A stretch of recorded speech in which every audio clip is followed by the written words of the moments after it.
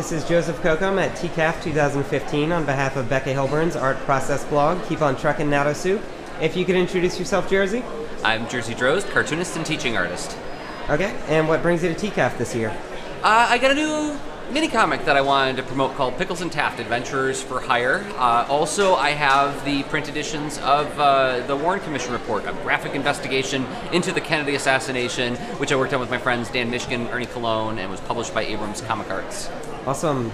Yeah, I got a chance to pick it up last night, but I haven't uh, looked it over. Can you tell me a little bit about it? Uh, the Warren Commission report? Yeah, Commission um, report. So it's not a whodunit. It's not a uh, you know conspiracy theory exploration as such. I mean, that's part of it. Obviously, you can't strip that away from the, the story of the assassination, but it's more of an examination of the report that was filed a year after the assassination. So, like Kennedy's assassinated, uh, President Johnson puts together this this committee to say we got to settle the dust on this thing. We got to like assure the American public that we know what happened. So the Warren Commission is assembled to evaluate all the evidence. Uh, they were at odds with the CIA and the FBI and all these conflicting pieces of evidence. Plus, we have the story of Oswald that nobody knows exactly for sure what really was going on there. Uh, He was definitely a shooter, but who put him up to it? Was he just a crackpot? Was the CIA put it up to him? The, the Cuban government put him up to it? We examine all that stuff. We compare all the evidence. And then uh, we close with some thoughts on how all of this story affected the culture of the United States at large. And we even ruminate a little bit on what would have happened had the government been more open and forthright with what they didn't know. Right. So it's it's less of a whodunit, but more of an, a documentary of that story and the larger story surrounding it. Yeah. Uh, so, what was your experience with working with the writers on that? I know you said you had a little bit of a spot job in terms of the art. Uh, was there good communication amongst the? It was three creators. correct? Yes, Yeah. Dan Mishkin did the script. Ernie Colón was one of the artists, and then I was brought on to help Ernie. And the the art process is really weird on that. Like we traded off a lot of things. Some pages I drew more, some pages he drew more. The only thing I can say for sure that I did 100% was the coloring and lettering. Yeah. Um, but working with writers like Dan, Dan Mishkin is. I, every cartoonist should work with Dan to know what it's like to have a proper script. Because he writes in such a way that you see the page. He writes in this really descriptive way that's not laborious to it's, it's not it's, it's not like voluminous t- text of like a description of everything in the room he just describes it in this light way where you see the shot so th- I thumbnailed two thirds of the book. I did the layouts on it, Yeah. and it was almost. I don't want to say it was effortless because it, it took work, but it, it was so much easier than having to read a script where the description wasn't told from somebody with a visual imagination. And I think that's it. Dan They has were. a He was focusing less, a little bit less on what is happening, and more on just how they're going. You're going to show what's happening. Yeah, yeah. He knows how to describe something that elicits an image. He writes in a very comic booky way. Uh, and he's very experienced in that. He knows how to do it. Uh, he's, he's worked for DC Comics for many years and done, and other companies since then. But um, it's just I, I've never worked with a writer like that before, where it, he makes it so he he meets me halfway as an artist, so that all I have to do is go, oh, I hear what you're saying. This is how you do it, right? So Dan is fantastic, but Dan also did an enormous amount of research on the book. Uh, this is another thing that a lot of writers they should look at Dan as an example. he gave me this word document with link, link, link, link, link. Here's all the photo reference you need. You don't have to look up anything. Just draw this, right? So uh, I did have to do a little bit of research on my own.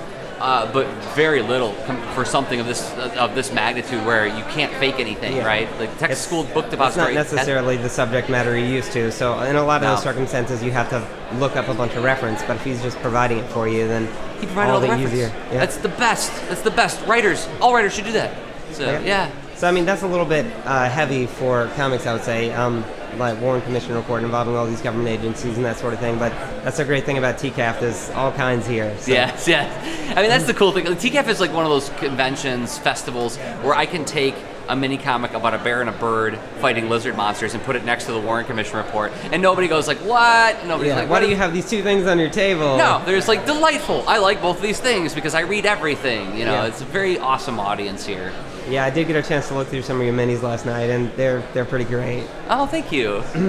Um, so I know your TCAF experience is starting a little bit sooner than others because you were also a part of the Educators Day, correct? Uh, what was? I mean, I I attended your panel. Uh, what was your experience with getting that set up um, and uh, coming a little bit early, having a table the next day, that sort of thing? Um, well, okay. I'm gonna take a. I'm gonna. I'm gonna take your question. I'm gonna back up just two steps and make a little bit of a rant because you're, you're, you're, you should have said trigger warning in there. but like, I, like, no, no, it's just for me. I think it's super important for cartoonists. Like we go into this line of work because we like to be alone. You know, it's like I don't like talking to people, or I'm shy and I like to express myself, but in a way that's quiet and I don't have to like follow up. I draw my thing. Here you go. Read my thing. We're Yeah. done here. I'm, I, I made my expression. I get to go home and play video games again.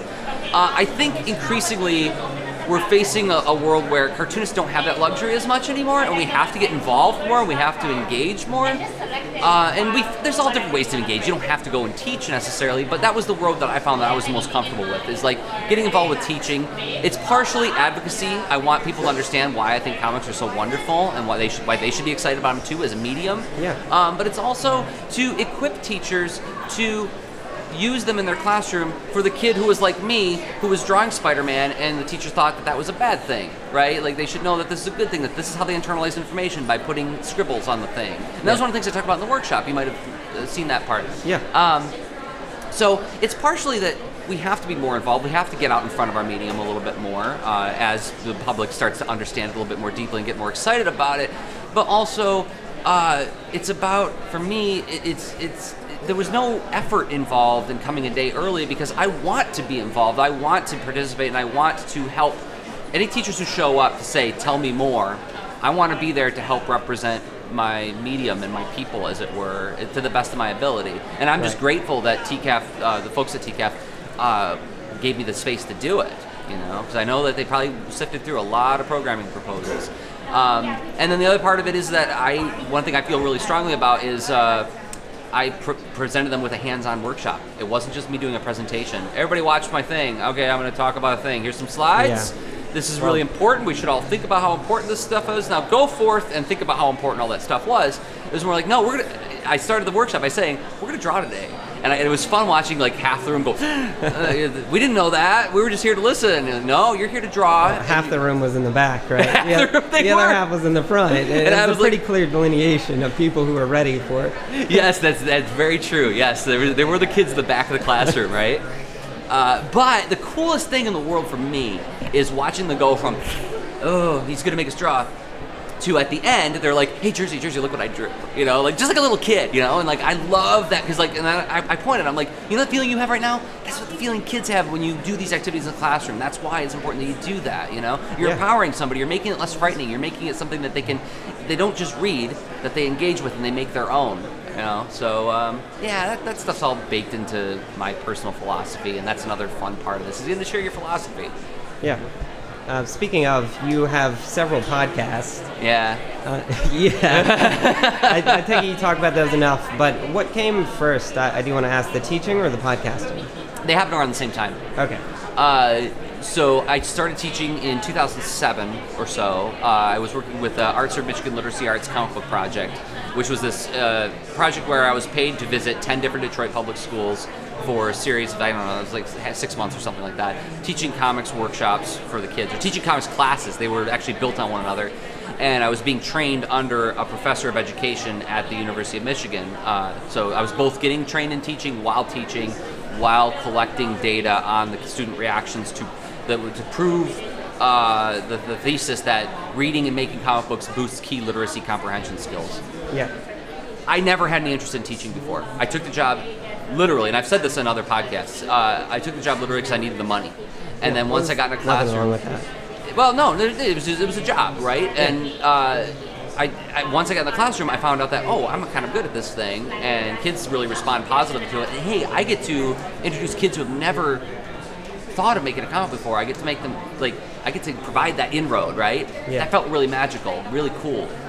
Uh, and so I wanted to do more of it. At the same time, I was having phone conversations with my cartoonist buddies, as you do. You're working, you're lonesome, and, you know, you, somebody else has got to feel this frustration that I feel. So you're talking while you're drawing, and we would have these talk, these discussions about craft and about like a nine-panel grid versus a six-panel grid, and the way you pace things out and define traditional reading directionality. Really and we'd always comic stuff. yeah, the really like nerdy craft stuff, right? Uh, and at the end of those conversations, we'd always say like, "How come we don't hear this in podcasts?" You know, like there were lots of podcasts in 2007 about comics, but they were mostly about the direct market comic books, interviews with writers and artists at DC Comics, and they were the interviews were conducted by people who weren't practitioners necessarily. So they didn't necessarily know where to go. It's like like you'd hear like John Romita Jr. say like, "Oh, I like to use this kind of brush versus that kind of brush because this kind of brush gives you this kind of line, that kind of brush gives you that kind of line," and that would be the part where I, as a cartoonist, would be like, "Whoa, tell me more." But then the the interviewer Says that's great. That sounds boring. yeah, that's great, but that doesn't mean very much to me. So let's go. Like, what do you think Wonder Woman's going to look like next year, right? Yeah. Which is an interesting question for a certain audience. There's nothing wrong with that. But I, as the creator, am going like, ah, you, you cut them off when you got Yeah, to the good stuff. best part. so that was why I started doing it. Was me and my buddies who I was talking with on the phone. You know, we were like, we're not hearing this conversation happen anywhere. Let's just document it. You know, let's just have those conversations. We'll record it, see what happens. We had no, we never sat down and said like, this is what's going to come out of it. Or we're going to, you know, make more friends in the industry. We're going to get more publishing opportunities as a result of it. None of that was on paper. We just wanted to record the discussion so it could exist somewhere in case there's some bozo like us who's really interested in brush tips. Yeah. You know. but doesn't know where to go to find the information, or there is nowhere to find the information. Or even is something as simple as, is somebody else as frustrated with this as I am, right? Just Yeah. knowing that you're not alone on something kind of counts. Uh, Yeah, that was a lot of the inspiration for Becca's art process blog too, because it was just so difficult to find people being open about the tools they use and the processes they use. Because it, I guess they felt like everyone was competition, and if they figured something out, it was something that was going to get them ahead in career while other people would stagnate. But that's not necessarily the case. Sometimes it might be, but or or they think that they have to come at it like a guru, right? You either yeah, have you don't to want to admit that you don't know something. Oh yeah, and and for me, it's so much more interesting when it's not about teaching somebody the right way to do something, but more about sharing of an experience doing something, right? So like my classroom experience, and you probably saw this in the workshop that you participated in or we were witnessing, is that it was less about me saying this is how you do it. It was more like how do you think this works? What do you think is happening here? What what when you look at these two images, what stands out to you and why? Right? And uh, I'm, and I'm going to be here as an administrator to help piece together the narrative that we're constructing as a group. But I'm not the expert that you go to for advice. I'm just the facilitator. You're the experts, right? Hey, and I'll say like, did you notice when this person said this? That was really insightful. Let's share it with the whole room, right? Everybody's there to teach everybody. And to come at it from the sense of I'm going to do an art podcast where I tell you the right pens, the wrong pens to use. Everybody's got opinions, right? I love this pen. I don't love that pen, you know. But I think part of the reason that people feel stymied is they about getting involved in doing this stuff is they say like, well, I'm not an expert. You're not supposed to be. You're Yeah. supposed to just share your experience in making something because there's somebody out there who, whatever reason, they're going to get something out of that in terms of just knowing they're not alone, looking at it from another point of view. I never thought of using tools that way. Whatever, but that's why that's why you work in a lab. That's why you work in an art community. That's why you talk with friends is to share ideas and input, not in an expert way, but in a friendly kind of like I'm interested in this stuff, and this stuff is interesting to talk about. Definitely. And also, I mean, artists will look at your work and judge how competent they think you are. So it's not Yeah. like it's not like you're going to mislead anyone because they can see your ability and if they don't Yeah. deem it appropriate, then they they'll just ignore your advice. Right. So no harm, no foul. Um, yeah, that's true. but uh, so you do have uh, Kids Read Comics coming out, correct? Right. That's KidsReadComics.org. So that's the the two day. Well, actually, it's now it's a three day festival in Ann Arbor, Michigan, where uh, it's a lot like TCAF. It's it's free admission to the public. Um, big difference is that the tables are free for artists. We don't charge for tables, and we provide lunch for the artists. There's free lunch for all participating artists. Nice. All we ask in, in in return is a you got to come out in your own dime. That's not the easiest thing in the world for everybody. Yeah. Uh, and B, if you do come out, we ask that you participate or lead a hands-on workshop of some sort for kids. Yeah. That's So- pretty, pretty standard. A lot of anime conventions, for instance, will trade you a panel for um, a table, essentially. Okay, cool. Yeah, I didn't know other places did that too. That's awesome, and I think that's I think that's a reasonable trade. I mean, I, mhm, providing that you can provide a platform where people can actually make money at your thing. That's something that's always been an on, it's an ongoing struggle with all conventions, right? You Yeah. hear lots of people. Some people say, "I did great at this show. I did terrible at this show," and you get mixed stories no matter what show you go to. But the goal is that yeah, we'll provide you with the platform to sell your stuff, and then we just ask you like to donate an hour of your time to get kids excited about comics. Um, so yeah, so like uh, all weekend long, every hour on the hour, there's some kind of participatory workshop for kids because for me personally, Everyone's donating their time. Yeah. yeah, well, and, and it's about it's about going to get the autograph, but also drawing with the celebrity, right? You go to the thing and it's like, oh, there's Jack Kirby, there's Maurice Sendak, there's whatever artist that you admire is there, and like I'm gonna get the thing signed, and that's a wonderful, meaningful interaction of a kind. Yeah. But how much better would it be if Jack Kirby then turned to you and said, "Hey, you want to draw together?" Oh my God, right? That would change you forever. And one of the things that Dan Mishkin, the president of Kids Read Comics, says is he says that we're in the business of changing lives. And it sounds really huge and puffed up and highfalutin, but it's kind of what we're trying to do. Uh, and so yeah, this will be our seventh year doing it, and you know we get anywhere between Nice. 2,500 and 3,000 people coming through the doors over the weekend. We don't charge admission, so it's hard to take a head count. Um, and it's on the first floor of the Ann Arbor District Library, and uh, that's where the Artist Alley is. And then we have workshops and events happening all over downtown. So 826 Michigan will have some events going on. The Vault of Midnight, our local comic store, will have some events going on. The Ann Arbor Art Center, where I do teaching, is going to have workshops going on all day. So, So, it's kind of like Free Comic Book Day, where it's just the community coming together and doing comic book things, except around. Yeah. Yeah, except around like just like uh, Kids Read Comics Day, basically. And then the Friday before, the reason I said it was three days is the Friday before we have a, base, just like TCAF, uh, an educator and librarian conference where we have uh, uh, programming all day long for people who are interested in integrating comics into their school library, school curriculum, or their own library collection. And I'll be leading my Comics Pathway to Learning class there, uh, and Carol Tilley is going to be doing a talk on the history of comics, and we're going to have a panel discussion with Colby Sharp and a bunch of librarians and university professors on integrating comics into courses and curriculum and in collections. Awesome. Oh, and it's going to conclude with a, uh, a tour of the University of Michigan's video game library. So they have a they have a, a video game library with like every conceivable console and thousands of games. You can play Yeah. a Virtual Boy. Remember I those? You you had an interview with uh, the curator of that, right? Yeah. Yeah, Dave Carter, the was a good librarian. episode, yeah. Yeah, it's, it's an amazing collection, and it's like, yeah, you just go there and play video games. So we're gonna have a tour of that. We'll conclude with a party at the Vault of Midnight where you can. We're gonna have a giant draw wall facing Main Street, and all the artists just get together and draw. Uh, we did it last year, and one of the best. This is like one of the best. This is why I do the thing, because I don't get paid. Uh, but the reason I do it is we were doing this giant draw wall at this restaurant af- af- after the Friday pre-conference, and like there's all these artists like Ben Hatke, Raina Telgemeier, Dave Rowe, all these like you know awesome like kids comic superstars are all drawing on this wall. This kid shows up at the restaurant with his parents. He didn't know what was going on. He was just there for a boring family dinner, and he looks and he sees all his favorite authors are on this wall drawing. With recognizable characters as well. Yeah, yeah, right. And like the kid comes over and timidly says, like, "Can I go draw on the wall?" We're like, "Yeah, get over there." And so like we had a bucket of markers. This kid, like, what was gonna be a boring family, night turned into this amazing, memorable night where he got to draw with his favorite, you know, book authors. How cool is that? That's the best.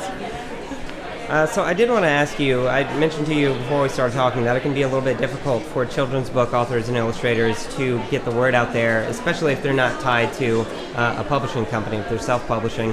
What advice would you have to uh, people who are specifically targeting children? It might be considered all ages, but their core demographic would be children in terms of getting it into the hands of kids, other than going to Kids Reads Comics, obviously. Well, yeah, that, obviously that'd be the self-serving first thing. Come to Kids Read Comics, yeah, but we only have like limited table space, so Sure. you know, there's a there's a wait list every year to get in there. Um, Oh wow. uh, it's tough when you're doing stuff on the internet. You know, uh, there aren't many places that parents feel are safe for kids, right? Uh, parents don't necessarily want the kids signing up for Facebook before they're 15 or 16 years old because of all the stories that were told, stranger danger, and all the, all the like.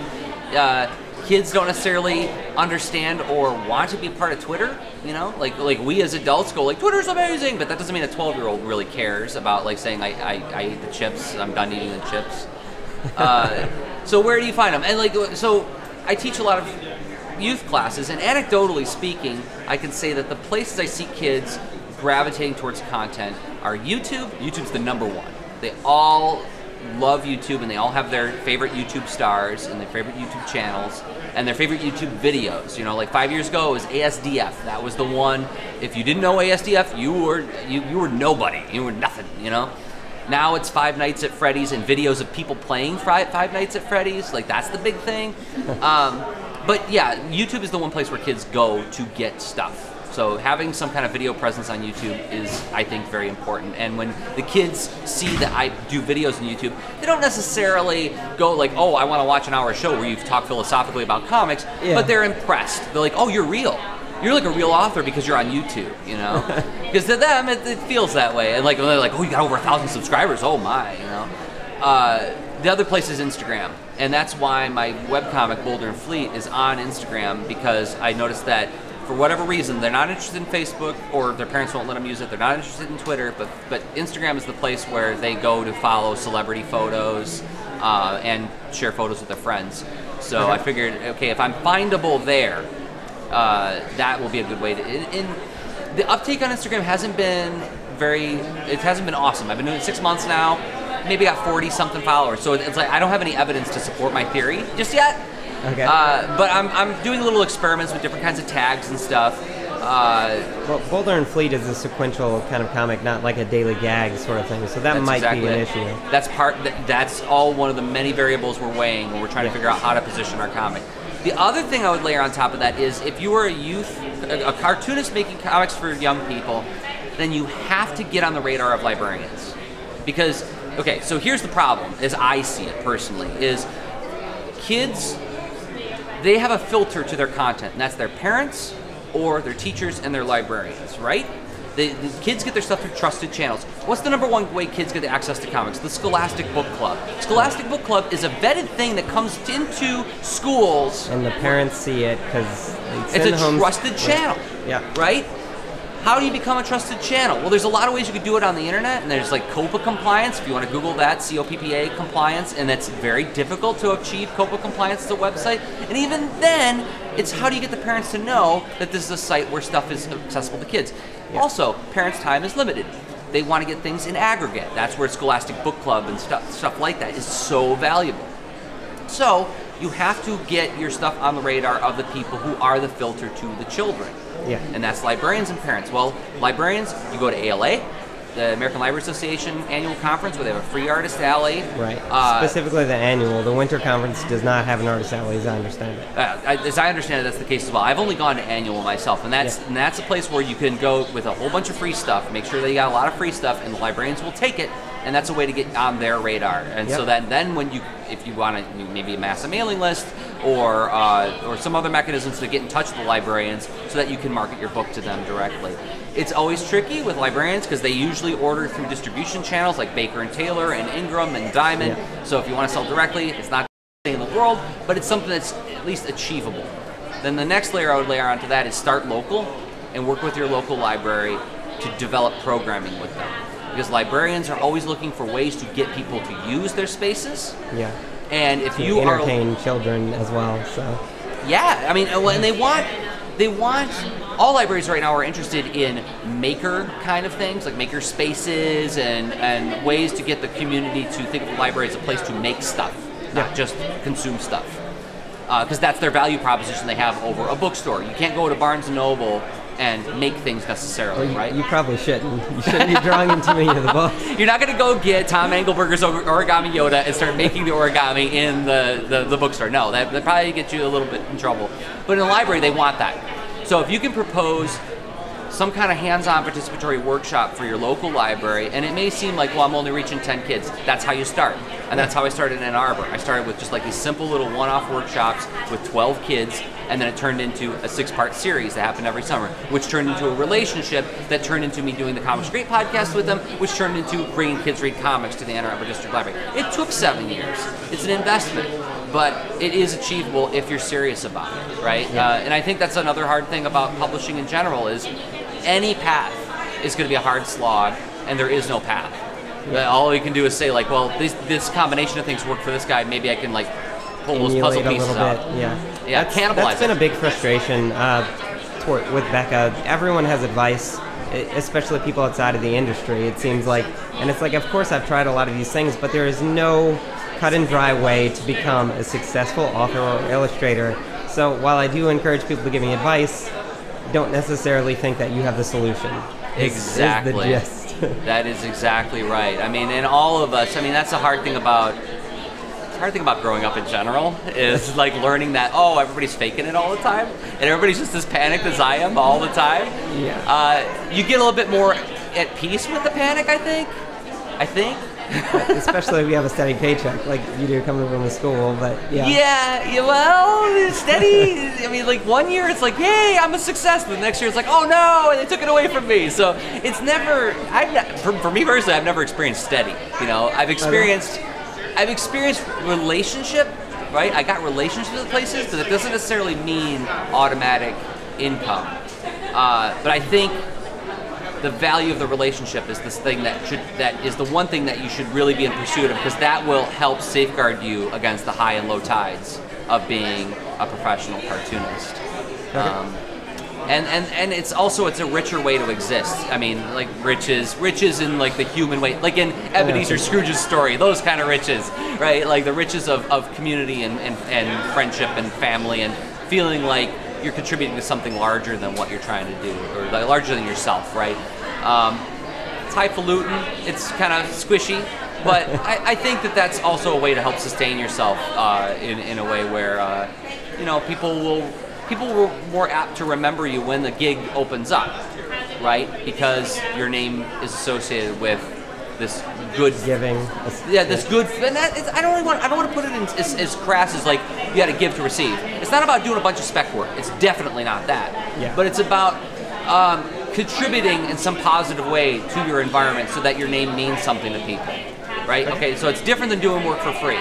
Like doing like teaching at a library, I charge, and my rates are right on my website. Like if you want me to visit your library, I will do an awesome workshop for you, and I work with kids, and I'll be very, you know, like uh, I'll give them all personal attention. But it's going to cost you. You're gonna have to pay for my hotel and at least a per diem, maybe a little bit of cash on the side. Yep, I'm gonna, I'm gonna get like a presentation fee, you know, Yeah. um, and yeah, I'm gonna have travel expenses and things like that. So yeah, you charge for all that stuff. Yeah. But um, but you make yourself available for that stuff, right? That, that that's the difference. Uh, and I, I would never advocate doing spec work unless it's something you feel extremely strongly about. Like if this is like a, a, a mission that I am fired up about and I want to do my share, I want to do my part for this thing. Sure. But if it's because you think that it's going to give you some kind of benefit in the long run, in my experience and a lot of experience of a lot of other artists, it almost never It can does. be kind of thankless, yeah, because it almost devalues your time. So why would someone Why would we offer you money you when we know you've done it for free before? you? Yeah, exactly. Yeah, precisely. Like, yeah, I mean, and that's that's been my experience as well. Is like when I undercharge or uh, do it on spec, it just becomes an expectation. And then when I do say, hey, you know what, my time's kind of valuable, a lot of times they'll say, oh my gosh, we didn't know. You know, we didn't know that you actually wanted money for this. Here, you know. So like you, uh, a lot of times it's not. You're not out of line by asking, Yeah. and your work has value, right? Um, and so I joked around about not getting paid for kids read comics.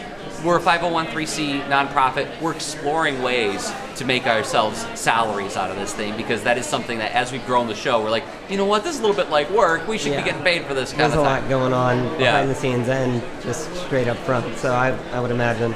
Yeah.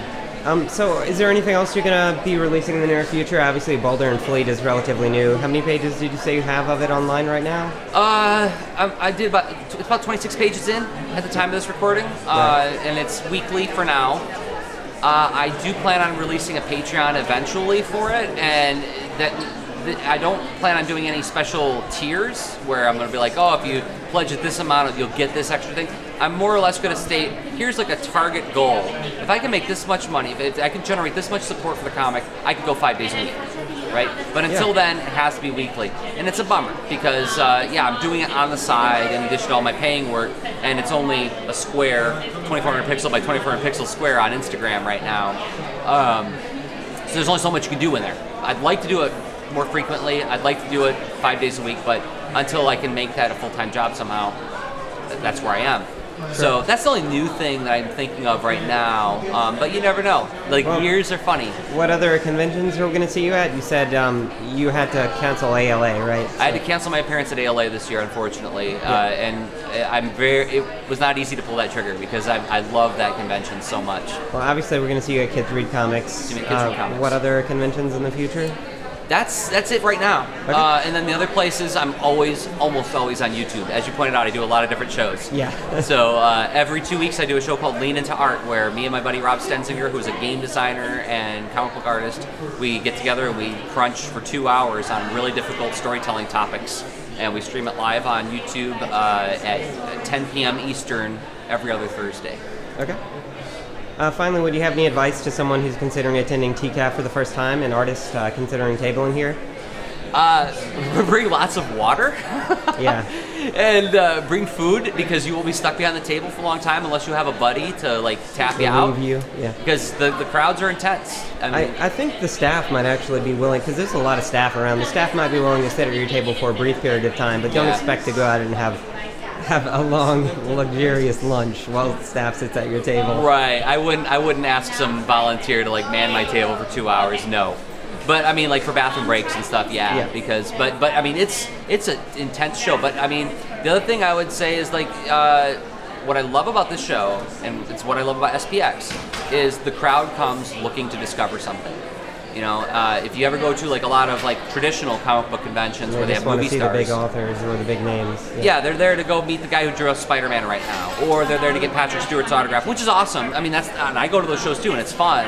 But as a publisher, a self-publisher, uh, I want to go to the show where people want to discover new stuff, and everybody comes here to go, what's new, what's new, what can I buy? Uh, and people come here to buy books. It's great. So, uh, also, yeah, make sure that you bring enough books. You know, don't just bring 10 because you didn't sell well at another show. You're going to be selling like 20 or 30, 40 books, even if you're not, you know, widely known. Nobody's coming up to the table saying, "Oh, Jerzy Drozd." Thank God. They're coming. and They're like, "Oh, Cat and Cat. That's cute. I like it." So, Okay. Well, I hope you have a good TCAF. Thanks for, so much for talking to me. well, thanks for letting me talk.